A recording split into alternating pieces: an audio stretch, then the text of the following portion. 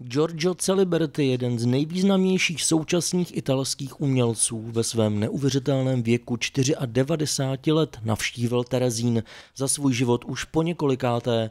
Jeho první návštěva Terezína proběhla v roce 1965 a až nečekaně ho ovlivnila. Zajímala ho historie a to, co vlastně viděl eh, na malé pevnosti, ho ovlivnilo natolik, že jeho díla eh, od té doby vypadala trošku jinak. A celou dobu vlastně Terezín má v hlavě a je neuvěřitelný, že eh, v jeho věku teď myslí na Terezín. Giorgio Celiberti už v roce 2011 věnoval Terezínu své první dílo, které bylo umístěno na památku všech obětí druhé světové války do venkovního prostoru Malé pevnosti. Teď se do Terezína vrací z částí výstavy Esence míru.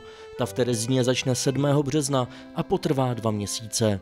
On bude vystavovat eh, jeho obrazy, s tím, že eh, jsou to obrazy, které opravdu on spojoval s tématikou Terezína a potom eh, vlastně část obrazů by měla zůstat jako dar městu. Výstava se bude konat od 7.3. do konce dubna a bude probíhat v infocentru a v muzeu Terezín.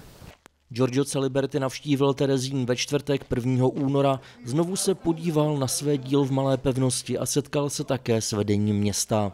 První zastávka byla eh, na Malé pevnosti, kde vlastně jsme se setkali všichni pohromadě s týmem eh, památníku Terezín. Pan ředitel eh, vlastně nás přijal všechny, byla přítomna europoslankyně Martina Dlabajová, která se velice taky zasloužila o, o tuhle výstavu a byli tam, jelikož tuhle výstavu, což je hodně podstatný, vlastně podporuje Italský institut umělecký a italská ambasáda a přímo Evropský parlament, tak vlastně vlastně i účastníci z těchto organizací byli přítomní a je skvělé, že eh, umělec si přived i vlastní hudebníky, aby ten prožitek měl opravdu jako grády a to, to opravdu všechny dojalo.